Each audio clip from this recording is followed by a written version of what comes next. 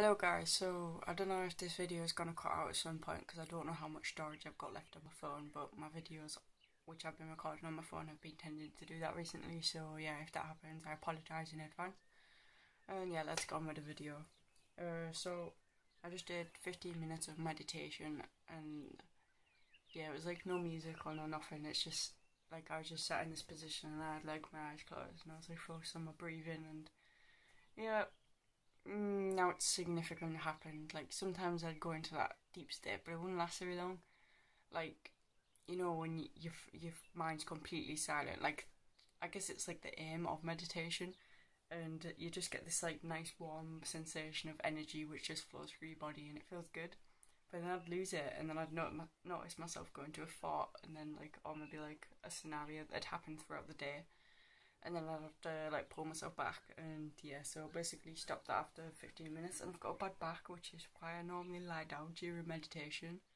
But when I lie down I tend to fall asleep before I can go deep enough so yeah. Honestly British people always have something to complain about. I have like a problem which really isn't a problem but it is a problem. Uh, here we go again complaining. Anyway, um, I'm satisfied with doing nothing. Like, um, I'm satisfied to do nothing right now, which is problematic. And I have been all day. Like me and my friends, we've just been like pissing about and like taking pictures of bees and like just fun things like that. And right now, I have to write an essay which was set last Tuesday, uh, 30 marker. I've done part of it. I just, I just feel like I've written too much in one paragraph, and it's sort of like uh, I know this is an excuse, but it's sort of like stopping me from progressing forwards and being able to write anymore. Because I feel like maybe if I've done this bit wrong, which isn't, I, it's not wrong. All the information in it's correct. I just don't know exactly what I need to write. I don't know how much exactly I need to write, and yeah, I just, I just like, I'm not motivated to do it. And obviously, that's just a mindset. And I do like sociology, and I do like bitching about the education system and bitching about political parties. So, yeah, I I just need to sit down and actually start doing that within the next 10 minutes or so because it's due in tomorrow at like 11 o'clock but I've got a lesson at 9 so I won't be able to do it in the morning. That's okay, I'm gonna do it because I can do it and I will do it and I'm gonna change my mindset about it just gotta sort of let go a little bit and just like sometimes you do have to force yourself to do things you don't want to do, especially when you're in in the education system, which is what I'm writing about. Yeah. That's problematic because I want to be on like the spiritual lifestyle where I can just like just do what I want to do, but that's obviously not practical uh, with capitalism and stuff like that. So yeah. Just gonna have to get by, I guess. Like sometimes I like college. I enjoy doing the work, and I have no problem just sitting down and doing it. But like today is not my day, and yeah. But I guess I can change that. Maybe today's not my day because it's like the self fulfilling prophecy, and I pretty much woke up with the mindset of like, okay, I don't really want to do any work, or perhaps I've got the mindset of you have to do work rather than okay let's get the work done by saying i have to do the work. It's sort of like my mind blocks it out because like no one likes to have to do things do they? I guess maybe if i can trick my brain into thinking that i want to do it i do want to do it. Just gotta say that i somehow believe it then i'll be able to do it Humans are very weird, strange creatures. And we have a mind and it doesn't always do what it want we want it to do. Yeah. I don't know. I think I I do like life's just so weird. I like the other night I just you know when you just have a, a massive epiphany, like a, a philosophical epiphany, and you just, yeah. I was watching an Alan Watts video. I, I can't remember what it was called, but it pretty much sparked something off in my mind. Like, I was listening, and it's like I all all of a sudden just understood what he was saying. Like I really like felt it inside me, and so I pretty much just got off, got on my book and uh, writ a lot of pages about about it, just about my thoughts, and then it, just went on to like lots of different things, and uh, yeah, it was it was um it was quite fun. I just I just couldn't stop writing. I was I think it was like an hour and a half straight. I was just writing. And then obviously it got to like one o'clock in the morning, so I was like, okay, I should probably go to bed now. But it was on a weekend, so that that was a plus side. Didn't have to get up early in the morning. Um, yeah, I might actually make a video about that, but I'm probably gonna have to split it up into like two or three parts because uploading long videos from my phone, especially, uh, it takes the absolute piss, and I'd rather not do it on my laptop because it's not as good quality. So, yeah, if I split it up into like a few different parts, and then I'll, I'll make a video about that. Um, yeah, about those thought patterns. Hmm, I don't really know what else to talk about yeah, I sometimes I feel in the mood to make a YouTube video like I did um the other night, but people were in bed, so that wasn't practical for me to just get out my phone and start talking because it was like I don't know, it must have been about half eleven when I got the urge, and yeah, so I couldn't like just wake everyone up in my house. So yeah, here I am right now. Uh, yeah, so I wrote instead, uh, which is, I guess, I guess I got the thoughts out of my head onto paper so that they didn't just go to waste. Think about all the wasted ideas we have, like, because I'm pretty sure we all have genius ideas at some point in our life, and we all have like ideas which we believe could change the world, but we just we just compress them and silence them down and just push them to the back of our mind where they like get lost with all the other thoughts and ideas that we once had. And it's quite sad, isn't it? Because imagine if everyone put all those ideas into a pot like, and we actually went through with some of them, we could actually make a big difference in the world. And I think maybe that's what we need.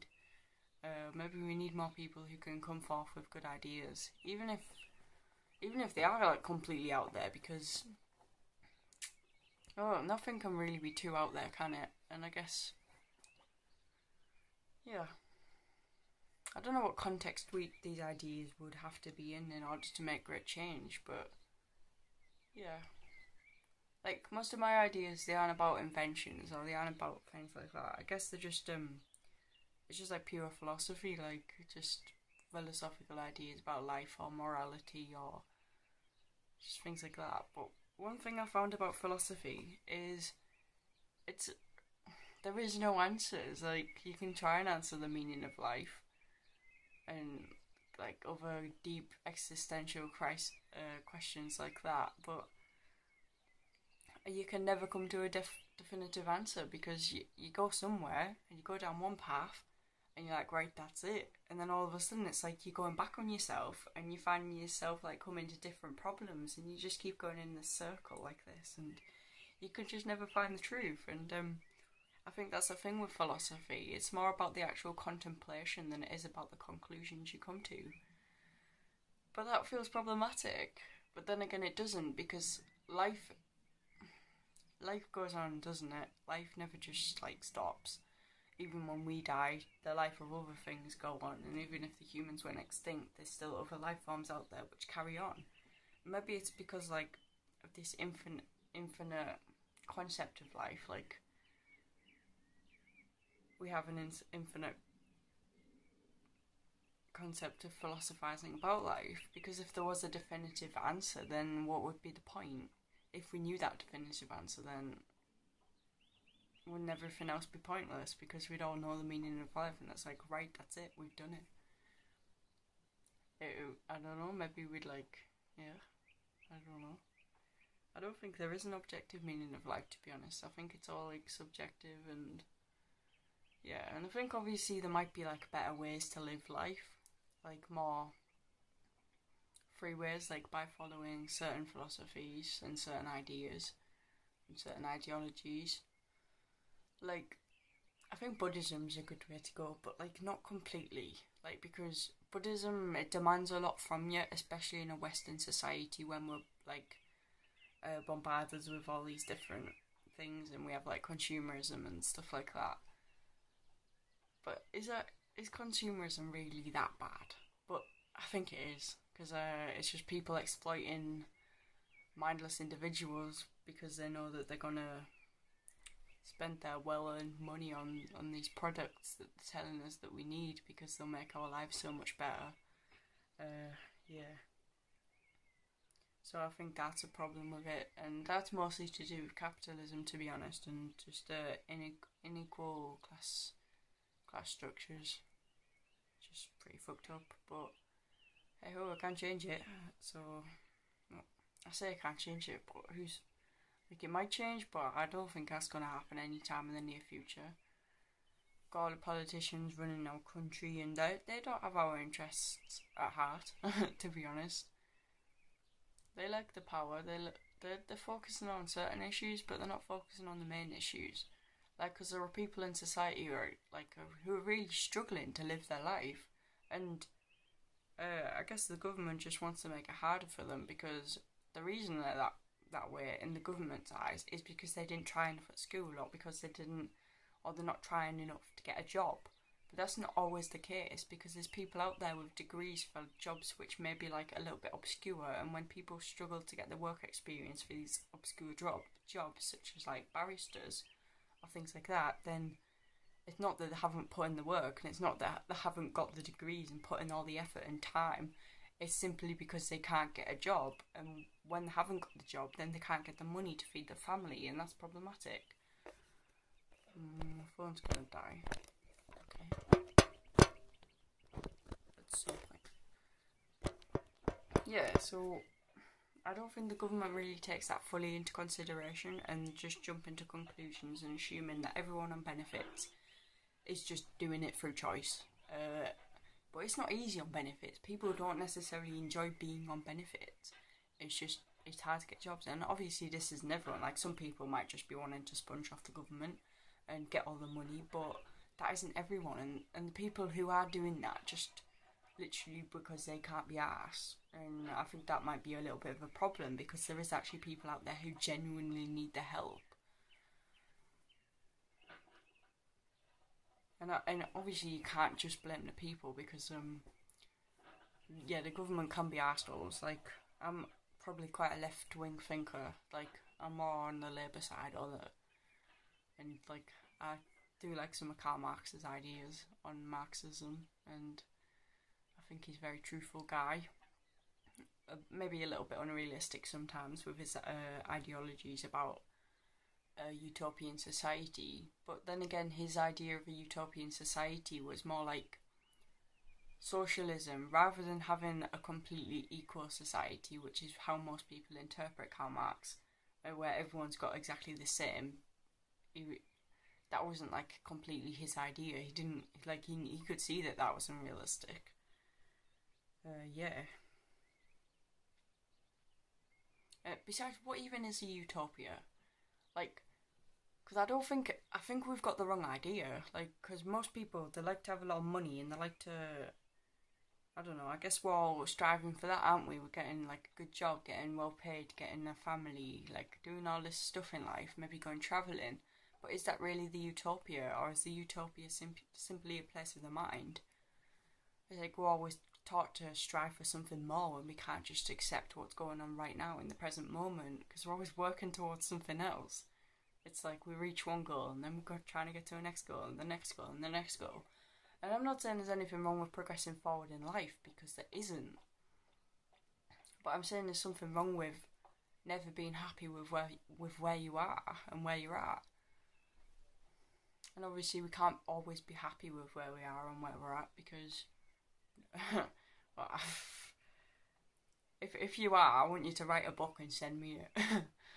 Because uh, yeah, we have good and bad days. Because that's what about. Well, that's what being human is about, isn't it? Imagine if we were always on this high level. That would eventually become a baseline for us, and we'd still we'd still feel these ups and downs. It's just relative. Yeah, but maybe Maybe if our baseline was a higher level, then the ups and downs wouldn't be as bad. Hmm, it's very strange being a human. And sometimes I sometimes question the current system, but obviously questioning it isn't good enough because I'm a part of it. I know logically I'm gonna stay a part of it. Um, I'm not just gonna drop out of college because because I've been socialized to believe that if I do that, then I'll become a bum. Yeah. Um, obviously, I do need a bit of money when I grow up. I do want to go traveling. I don't know what I want to do. I, I, if I was going to do something, I'd probably want to travel, work in different countries, move around, and just live that way. But I'm being realistic and thinking maybe that won't happen. But then again, is that a thought just holding me back, or am I just being over optimistic about thinking that could ever happen? But to be honest, I don't really mind if it happens. Like I, I'm just not asked. I'm not. I don't want like anything more in my life right now. I just, I'm just content. I'm happy. I mean, I'm still living at home, like so that's probably one of the reasons. And I'm not going to be living here forever, and I can't just be relying on my mum and my nana forever to be providing me with money so I can get food and and have shelter and all that. Like obviously, at some point in my life, I am going to have to make the decision to go out and get a job, and I have thought about it. But I'm just so busy. and that's probably just an excuse because I do like sitting around doing nothing, and that's like quite a big part of my day because it's not just nothing. It's about just having the time to myself to be able to like think things over or not think at all in some cases, like just sit and meditate and really appreciate the silence and the nothingness and the little sounds and my breathing and the fact that I'm here and just like sort of really feeling that. I feel like if I had a job, then I would have less time to do that. And I think that's a really important thing for me because uh, when I, I do notice a big change in my behavior when I like have a few days off meditating or I just like completely slack off like for a while. I, I, d- I don't know, I just become more emotionally inclined. Like, um, my emotions become more extreme. I notice myself getting stressed out more. I just, yeah, all kinds of things happen, and obviously those things still happen when I meditate, uh, or during time periods when I, when I'm doing like practicing meditation. But you know, it's um, it just seems a lot lessened, and yeah. I mean, college always stresses me out sometimes. Not always, sometimes. Like sometimes I can handle it, sometimes I can't. Sometimes I just don't really see the point in why I have to handle it. So I guess I just go into this mindset where I'm like, oh well, it doesn't matter. I just, I, it doesn't. It's not that important anyway. But then other days I'm like, you know what? I would like to get some A levels and I would like to do well. And I do want to do well, and I'm glad I've sat and talked to the camera for like 18 minutes, and I'm surprised it's actually recorded for this long. Uh, yeah, anyway, I think I'm gonna end off this video here, and I'm actually gonna sit down, which, like I'm doing now, I'm gonna turn around and I'm gonna get out my book and I'm gonna actually do some work, which I need to hand in tomorrow. I'm gonna do that because I can. uh, okay, well, if you enjoyed, leave a like, subscribe, and yeah, bye guys. It didn't end. Uh, thanks for watching.